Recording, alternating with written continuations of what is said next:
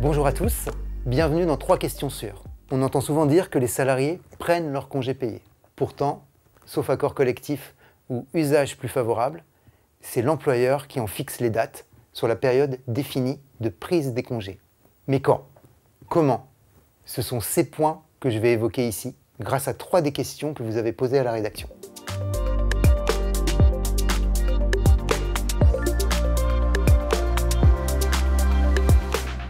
Alors Paul, rappelons que pour déterminer qui part quand sur la période de prise des congés payés, l'employeur applique un ordre des départs.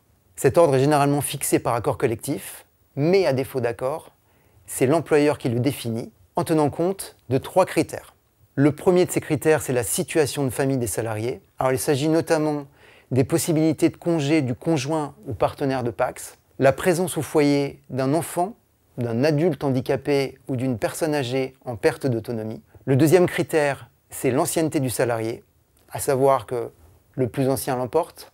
Et le troisième, c'est le fait qu'un salarié ait plusieurs employeurs, qui devront donc chercher une date commune de congé pour éviter que le salarié travaille pendant qu'il est en congé pour d'autres. D'autres critères peuvent être ajoutés.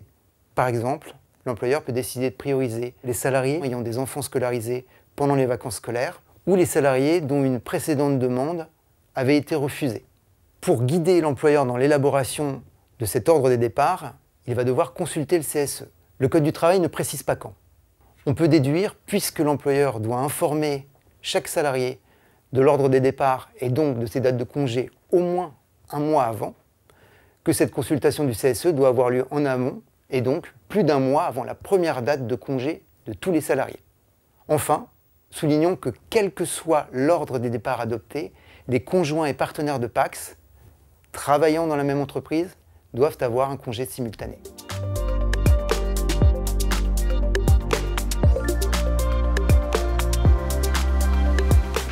Tout à fait, Inès. L'employeur peut fermer tout ou partie de l'entreprise pendant une période au plus égale à 24 jours ouvrables, c'est-à-dire 4 semaines continues. Aucun formalisme n'est requis pour cela. De plus, les congés étant simultanés, il n'y a pas ici d'ordre des départs à fixer. L'employeur a toutefois deux obligations. D'une part, il doit consulter le CSE sur le projet de fermeture en amont de la mise en œuvre de ce projet.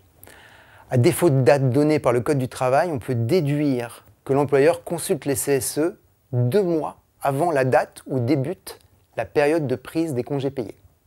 D'autre part, l'employeur doit informer chaque salarié de ses dates de congés au moins un mois avant la date de fermeture.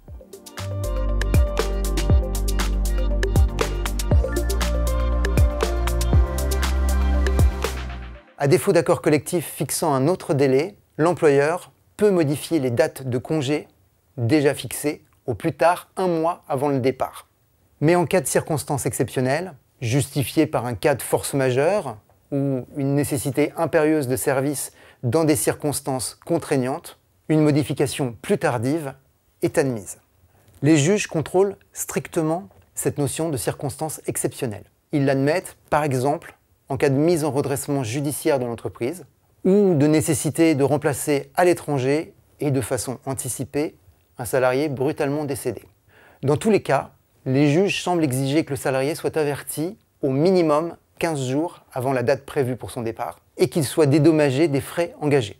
Par conséquent, le salarié pourrait refuser un changement de dernière minute. Notre 3QS touche à sa fin. Pour plus de précisions sur la fixation des congés payés par l'employeur, vous pouvez vous reporter aux revues RF Social, notamment au cahier juridique 238 de mars 2023, au cahier numéro 2 du feuillet hebdomadaire 3998 du 13 juillet 2023, et naturellement au dictionnaire social qui contient de nombreuses fiches très détaillées sur ce sujet. N'hésitez pas à partager vos commentaires et à vous abonner pour ne manquer aucune de nos prochaines vidéos. À bientôt